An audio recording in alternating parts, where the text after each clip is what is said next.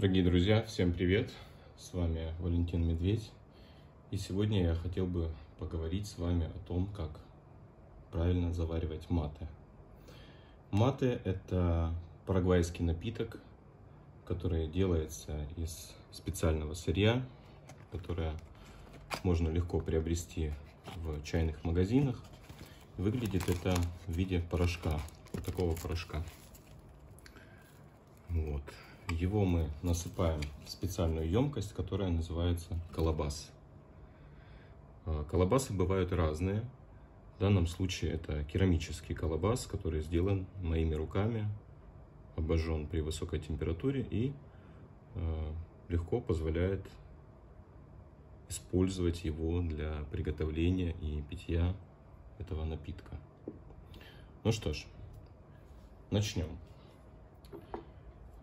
Для помощи у меня есть вот такая вот ложечка. Я ею зачерпываю порошок маты, ерба маты, как его еще называют. Вот, и засыпаю внутрь. Сколько нужно засыпать? Рекомендуют засыпать 2 трети. То есть, если разделить колобас на три части, то примерно вот столько. Вот столько нужно засыпать этого порошка.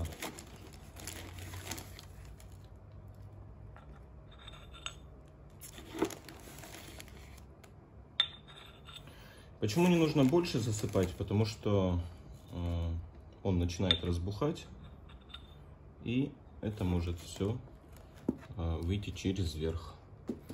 Ну вот, как вы видите, достаточное количество засыпано. Теперь что мы делаем?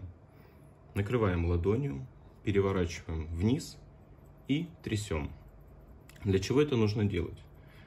Дело в том, что когда мы встряхиваем порошок, мелкие частицы, они оказываются у нас снизу, а сверху остаются более крупные, более крупные кусочки или листочки, правильно сказать. Теперь мы переворачиваем, переворачиваем наискосок, чтобы у нас получилась вот такая вот горка. А, для того, чтобы пить напиток, используется специальная трубочка, которая называется бомбилия. Они бывают разных типов, как здесь вы видите, сеточкой. Или же вот мой старый, да, моя старая трубочка, которой я раньше пользовался, она выполнена также из металла, но здесь у нас пружинка. Вот, сейчас я использую вот эту трубочку. Она в виде ложечки. И что мы делаем дальше? Мы поддеваем внутрь и оставляем ее в недвижимом состоянии. То есть не нужно во время питья напитка ей шевелить. Дальше. А, ну, вот это можно вытереть салфеткой, да? или же помыть водой. А дальше мы начинаем заливать воду. Воду можно заливать как горячую, так и холодную. А, сейчас лето, на улице очень жарко, и э, я делаю так. Ставлю воду в холодильник, охлаждаю ее до нужной температуры. Чем холоднее, тем лучше. И такой водой проливаю напиток. А здесь обращаю внимание, что маты не заваривают, а именно проливают.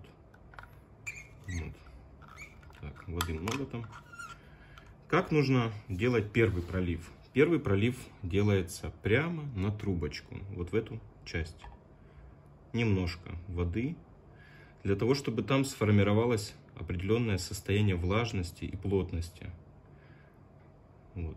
Дожидаемся, пока впитается и проливаем еще по чуть-чуть. Не нужно заливать э, полностью до краев. И чем дольше мы не будем заливать полностью до краев, тем дольше напиток будет отдавать свои свойства. А, что касается полезности этого напитка, конечно же, вы можете почитать информацию в интернете, ее там предостаточно, очень много разной. Там рассказывается про э, тонизирующие свойства этого напитка, он бодрит, он дает сил, энергии. А, также он содержит огромное количество полезных веществ и э, витаминов. Вот. Ждем, когда впитается, и проливаем еще немножко. Видите, торопиться здесь не нужно.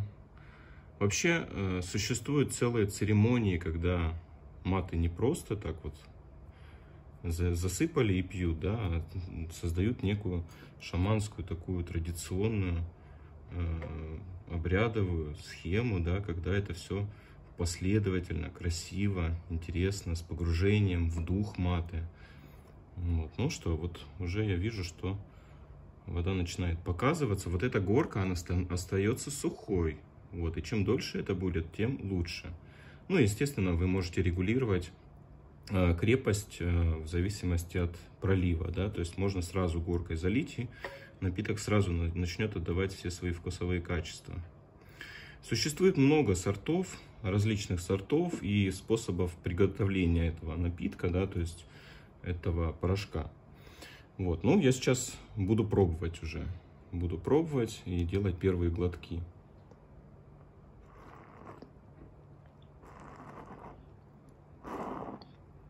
Не считается дурным тоном, когда вы можете слышать вот такие звуки. Вот, потому что э, это есть, в этом есть определенная своя прелесть. Вот, первый глоток я сделал, или пару глотков, и начинаю проливать снова. Также неторопливо, дожидаясь, пока вода пропитается. Я использую в данном случае родниковую воду. Можно использовать фильтрованную, в общем, чем лучше по, по своим качествам вода, тем вкуснее будет напиток. Вот. Такая вот прелесть. Что еще хотел бы сказать? А, так как я сам увлечен а, чайной церемонией, да, чайной тематикой, как видите, я пролив мат делаю на чайной доске, которую тоже в свое время сделал сам. И э, последнее время я увлекся темой маты и начал делать вот такие вот колобасы. Колобасы делаю из высококачественной испанской глины. Они все сделаны в одном экземпляре, каждый из них неповторим и полностью сделан, как я уже сказал, вручную. Есть с орнаментами, есть без орнаментов. Здесь дело на любителя. Вот мне нравится такой подход, когда они так, крышечку прикрою, чтобы не мешало. Мне нравится такой подход, когда они выглядят очень живо, да, то есть вот отпечатки пальцев мастера, вот эти вот промятые такие вот где-то вот э, не да, вот элементы, опять же орнаменты. Орнаменты делаю при помощи э, отпечатков специальных, которые я также делал, штампиков, вот, при помощи штампиков, которые также сам изготовил в свое время из глины. Вот здесь вот такой вот трещинки, но не бойтесь, это трещинки специально сделаны, они не сквозные. Вот. А после обжига я покрываю молочением, это древний способ, когда а, керамика опускается в молоко, высушивается и обжигается вторично, но уже при меньшей, при меньшей температуре. Если первый обжиг происходит при 1050 градусов, то второй обжиг при помощи молочения, который а, он делается при 320 градусов. И вот еще здесь один не поместился на чайной доске. Вот такой вот колобасик. Видите, я даже с нижней стороны делаю какие-то вот отпечатки и рисунки. И опять же, а, для того, чтобы подчеркнуть, что это мастеровое изделие, здесь стоит мой штампик автора и мастера. Вот. Также вот хочется сказать, что предыдущие партии были вот такими, когда горлышко было скругленным.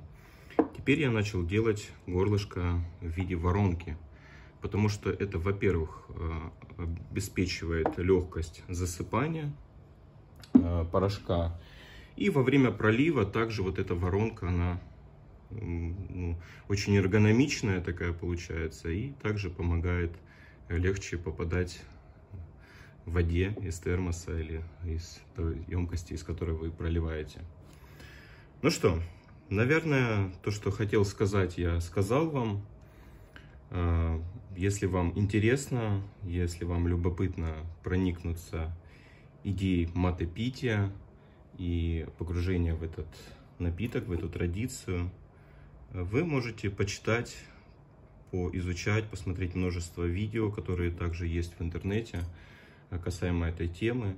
Если вас заинтересовали мои рукотворные колобасы, вот такие вот неповторимые, вы можете написать мне, обратиться, и я помогу вам выбрать свой колобас. На этом все. С вами был я, Валентин Медведь, и я желаю всем хорошего настроения, хорошего расположения духа, здоровья и всего-всего наилучшего. Всем пока!